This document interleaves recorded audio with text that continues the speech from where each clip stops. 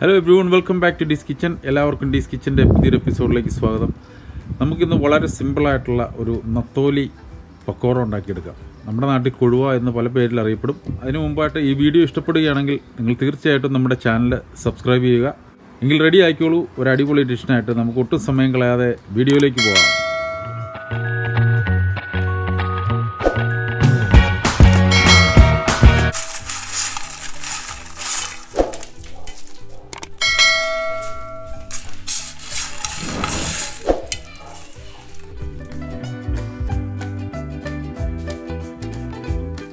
Okay നമുക്കിത് എങ്ങനെ ഉണ്ടാക്കുന്നതെന്ന് നോക്കാം. നമ്മുടെ നാട്ടിൽ ഇതിന് കൊഴുവ എന്ന് പറയും ഇന്ത്യൻ ആൻചോവീസ് എന്നൊക്കെ പറയും നത്തോലി എന്ന് പറയും പല പേരിൽ അറിയപ്പെടും. ഇത് വൈറ്റ് ബൈറ്റ് ആണ്. ഇംഗ്ലീഷിൽ ഇതിന്റെ പേര്. നമുക്ക് ഇതിലേക്ക് കുറച്ച് ലൈം ജ്യൂസ് ഒഴിച്ചു കൊടുക്കാം. ഒരു ഹാഫ് ലൈമിന്റെ ജ്യൂസ് അതിലേക്ക് പിഴിഞ്ഞൊഴിക്കാം. എന്നിട്ട് കുറച്ച് കുരുമുളക് പൊടി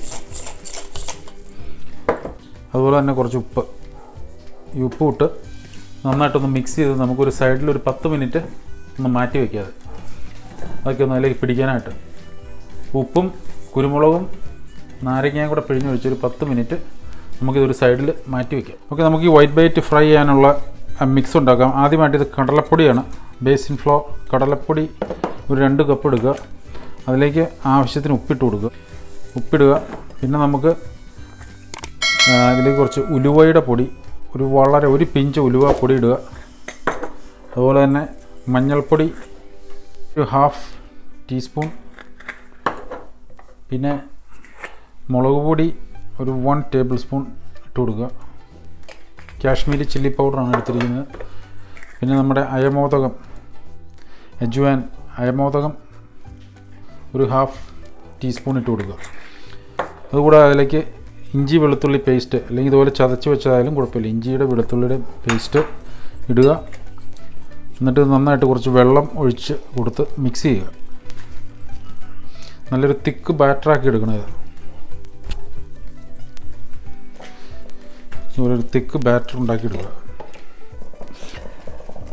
ഓക്കെ നമ്മുടെ ബാറ്ററി ഇപ്പോൾ റെഡി ആയിട്ടുണ്ട്. ഇതുപോലെ ഈ ഒരു കൺസിസ്റ്റൻസിയിൽ കിട്ടണം. നല്ല തിക്കായിട്ട് ഇനി നമുക്ക് നമ്മൾ മാരിനേറ്റ് ചെയ്ത് വെച്ചിരിക്കുന്ന ഫിഷിലേക്ക് കുറച്ച് കടലപ്പൊടി ഇങ്ങനെ വിതറി കൊടുക്കുക. എന്നിട്ട് അത് നന്നായിട്ട് മിക്സ് ചെയ്തെടുക്കുക. നമ്മളിതുപോലെ ഫിഷ് എടുത്തിട്ട് ഈ ബാറ്ററിൽ മുക്കിയിട്ട് ഇതുപോലെ മുക്കിയിട്ട് എണ്ണയിലേക്ക് ഇട്ട് കൊടുക്കുക.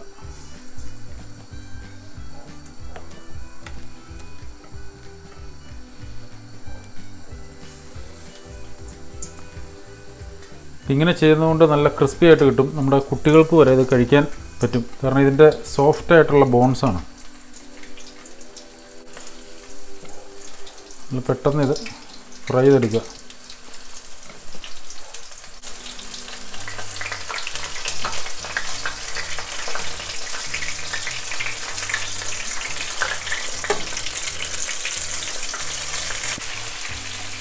നല്ല പക്കോട പോലെ നല്ല ക്രിസ്പി ആയിട്ട് നല്ല കളറിൽ കിട്ടും. നമുക്കൊരു സ്നാക്ക് പോലെ കഴിക്കാനായിട്ട് നല്ല ടേസ്റ്റാണിത് മാക്സിമം ഒരു മൂന്ന് മിനിറ്റ് ഫ്രൈ ചെയ്താൽ മതി. പെട്ടെന്ന് ഇത് കുക്കായി കിട്ടും.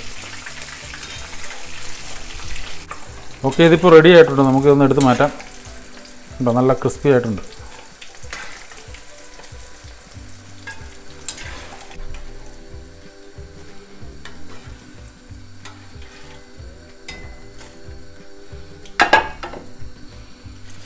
ഇനി നമുക്ക് ബാക്കിയുള്ളതും കൂടെ ഒന്ന് ഫ്രൈ ചെയ്തെടുക്കാം അതുപോലെ.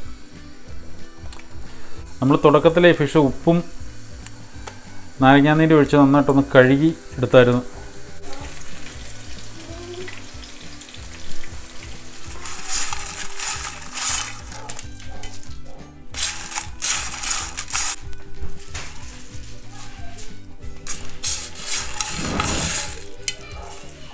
ഡാഡി നല്ല ഫിഷ് പക്കോട ഉണ്ടാക്കിയിട്ടുണ്ട്.